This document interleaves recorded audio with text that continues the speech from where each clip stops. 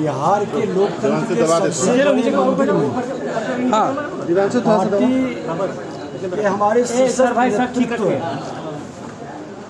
माननीय प्रधानमंत्री जी माननीय गृह मंत्री जी हमारे प्रदेश अध्यक्ष जी और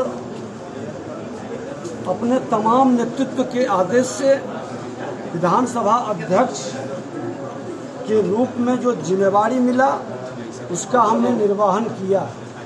20 माह तक उस मंदिर के पुजारी के रूप में जो बन सका। हमने वहाँ ईमानदारी से निरपेक्ष भाव से अपने कार्य को बिहार की धरती लोकतंत्र की जननी है उसकी सेवा में लगे रहे।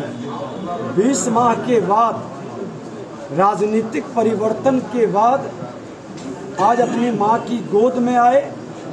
और पंडित दीनदयाल उपाध्याय जी, डॉक्टर श्यामा प्रसाद मुखर्जी के चरणों में अपने शिष्य को नवाकर इनके सानिध्य में अपने शीर्षस्थ नेतृत्व के प्रति आभार व्यक्त करते हुए कि आपने जो जिम्मेवारी दिया, एक सैनिक के रूप में जो आदेश कमांडर का मिला, ईमानदारी से निर्वहन किया, राष्ट्रवाद के प्रति, अपनी सांस्कृतिक विरासत के प्रति और बिहार के प्रति सभी लोगों के प्रति जो हमारा संस्कार मिलता है परिवार से, जिस परिवार से हम सभी आते हैं, राष्ट्रीय स्वयं सेवक संघ के, उस परिवार के संस्कार के रूप में, सदन में भी हमने सभी को लेकर चला।